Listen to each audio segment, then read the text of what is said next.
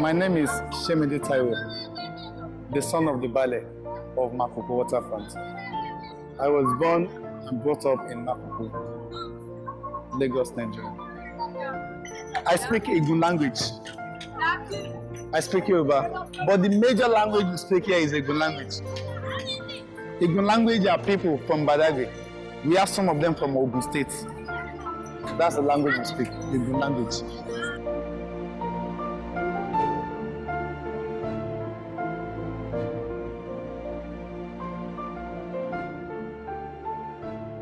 Makoko is divided into two.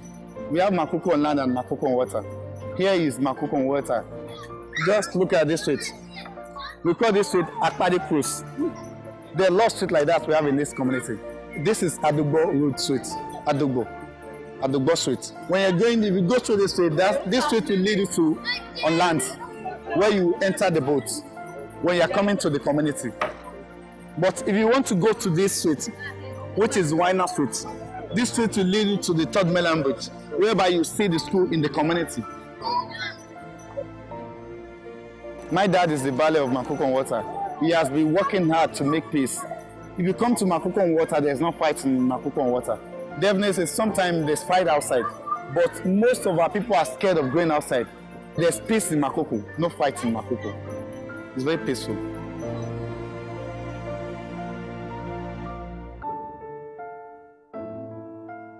If you want to build house here on water, I think we have our local carpenter. They are the best that can stand and tell you what how you can build a house. We have a man who's an architect. Once he came around, he built a school. We told him that this is the way we want him to build the school. They said no, he's an architect. Know, these that goes to school, they always want to do it the way they want it.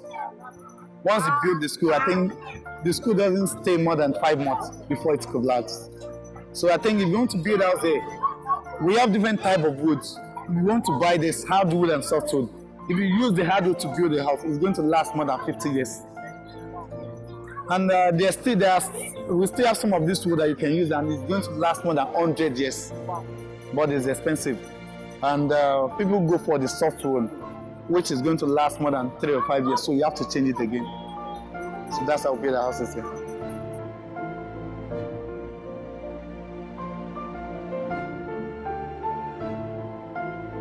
Makoko is a fishing community whereby the men have to go out for fishing, whereby the wife will be at home. So when you come back home with the fish, you give it to your wife to take it to the market to sell. From this fishing, that's where we get our best of life from. What we do is that most of our women, once they went out to sell fish, the money they make, they use it to buy other things, like drinks, like gari, like rice. So when they bring it to the community, they set up a mobile shop. So they move around and hawk around. If you want to buy from them, you call them and buy it from them. And uh, there's also, we have a lot of our women that go outside to buy this bala that they brought from, that they import from other countries. So once they bring it to the community, they smoke it and take it back to the highland for sale. If you look at the whole Lagos state, we supply them the most fish they need. If you meet this of our this our women selling fish outside, if you go close to them, ask them are you from? I'm 100 percent sure they will tell you they are from Makoko. So we supply them fish every day. That's the best we are doing for Lagos State.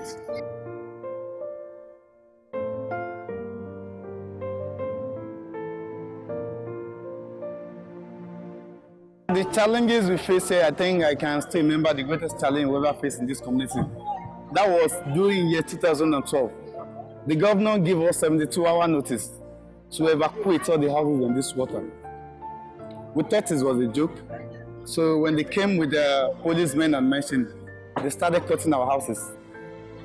During the process, I think one head of the member of the community was shot to death. But right now we have a lawyer who is standing for the community. This man has done a lot for us. A community with 200,000 plus. The government said we are no more than 100 people. Our own lawyer stood up and defend our own truth that if the judges can send someone to come down to the community to see the people by himself, it would be nice. So when they got to the school, we have a school which is Nursery and Primary School. The only English school we have in the community. Once they got there, the children started the national anthem of Nigeria. The judges started crying. Even the state lawyer started crying. So the judges told the lawyer that you go back to your government, tell him to write a letter of apology to these people, give them school and more hospital. But now nothing has been done. As big as community, this community is, there's nothing here that I can point out and say this is what the government have done for us. Nothing here the government have done. The plan of the government is to move away everybody from here so that I can make this place like Lekki. The government knows that we don't have the money. And it knows that we don't have the power. Definitely it's true, we don't have the power to fight him. During the time, I think Federal sent him a letter that he should stop the demolition. That the waterfront is under the federal, is not under the state. That's when the government stopped the demolition. But he should, he should consider us as Nigerian. We are Nigerian, we are born here we are brought up here. If the government should move us from here, how are we going to start our life?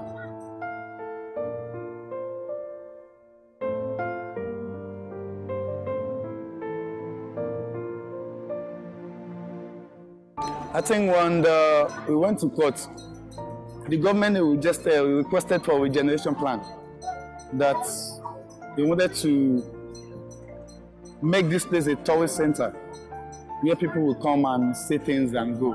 The lawyer sits down and wrote it, but we submitted it. Till now, the government have not approved it. Even though we tell the government to come and do things here, the government will not do it. I'm telling you.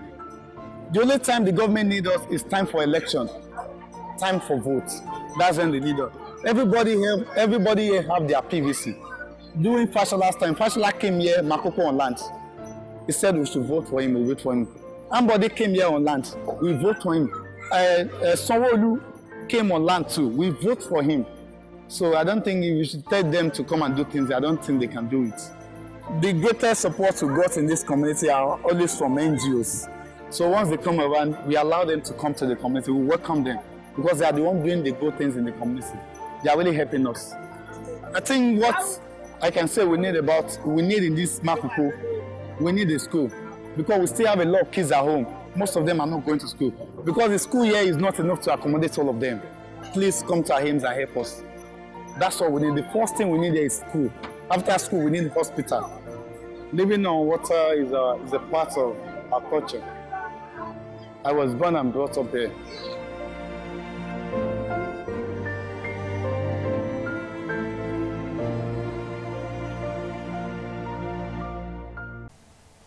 To enjoy more of these our Ogbonge videos when you just watch, press this button to subscribe on top of our YouTube page. You go love am.